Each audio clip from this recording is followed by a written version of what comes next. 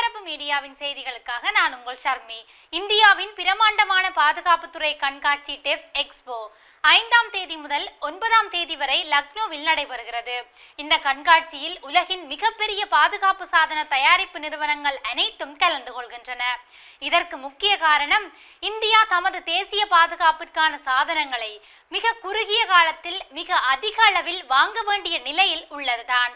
இந்தியாவின் இந்த தேவையை பூர்த்தி செய்வதற்காக தமது தயாரிப்பு ராணுவ சாதனங்களை இந்தியாவிற்கு விற்பனை செய்யலாம் என்ற நோக்கத்துடனேயே பெரும்பாலான நிறுவனங்கள் கலந்து கொள்கின்றன.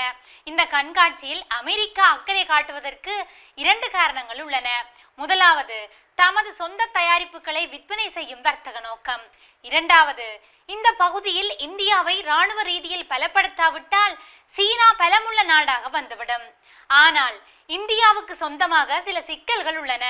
கடந்த காலங்களில் ஆட்சி செய்த இந்திய அரசுகள் இந்தியாவின் பாதுகாப்பு சாதனங்களை நீண்ட காலமாக மேம்படுத்தல்களை விட்டுவிட்டதால் இறுதி நேரத்தில் தரைப்படை கடற்படை விமானப்படை ஆகிய மூன்றின் ராணுவ சாதனங்களையும் ஒரே நேரத்தில் மேம்படுத்த வேண்டிய அவசியம் இந்தியாவுக்கு ஏற்பட்டுள்ளது இந்த மூன்று படைகளின் அனைத்து ராணுவ சாதன தேவைகளையும் ஒரே நேரத்தில் பூர்த்தி செய்ய வேண்டுமானால் அதற்கு ஏராளமான நிதி வளம் தேவை. இந்தியாவின் மற்றிய துறைகள் அனைத்தையும் ஒதுக்கிவிட்டு பாதுகாப்பு துறைக்கு மட்டும் நிதியை ஒதுக்கிவிட முடியாது. அதே நேரத்தில் இந்த பாதுகாப்பு சாதன மேம்படுத்தலை இன்னும் பத்து ஆண்டுகளுக்கு தள்ளி வைக்கவும் முடியாது.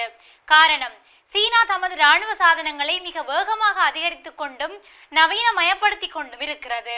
இந்த போக்கில் சீனாவை வளரவிட்டால் பத்து ஆண்டுகளின் பின் இந்தியா ஓடிப்போய் சீனாவை எட்டி பிடிக்கவும் முடியாது. இதனால் இந்தியா தமது ராணுவ சாதன மேம்படுத்தல்களை அடுத்த மூன்று ஆண்டுகள் முதல் ஐந்து ஆண்டுகளுக்குள் முழுமையாகவே நிறைவேற்ற வேண்டிய கட்டாயத்தில் உள்ளது. அதற்கு தேவை பணம். அதில் ஒரு முரண்பாடு உள்ளது.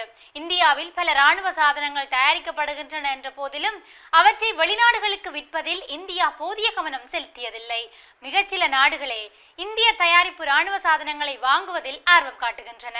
மற்ற நாடுகள் கூறுவது என்னவென்றால் இந்தியாவே தமது ராணுவ சாதன தேவைகளுக்காக வெளிநாட்டு ராணுவ சாதனங்களை அதிக அளவில் வாங்கும்போது நாம் எதற்காக அதிக அளவில் இந்திய ராணுவ சாதனங்களை வாங்க வேண்டும் என்பதுதான். இது இந்தியாவின் ராணுவ சாதனங்களை சரியாக வெளிநாடுகளில் சந்தைப்படுத்தாததால் ஏற்பட்டுள்ள சிக்கல். இந்தியாவில் ரஷ்ய கூட்டு முயற்சியாக தயாரிக்கப்படும் பிஜே டென் எனப்படும் பிரம்மோஸ் ஏவுகணை தான் உலகிலேயே அதிவேகமான ஏவுகணை.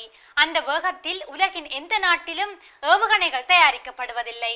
ஆனால் அந்த ஏவுகணை வெளிநாடுகளில் சரியான முறையில் சந்தைப்படுத்தப்படவில்லை.